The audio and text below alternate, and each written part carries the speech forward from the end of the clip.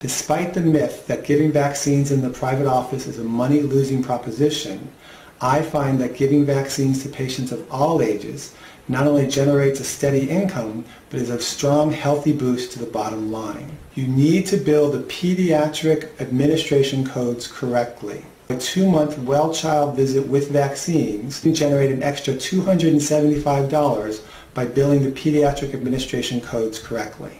There are two new codes that are used when you give counseling to patients under 19 or their parents, and these can generate a lot of extra income, especially with combination vaccines.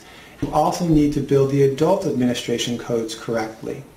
Even though these are not as huge money makers as the pediatric codes, they still provide a steady income. Well, Medicare has different codes for influenza and pneumococcal administration than the private insurers.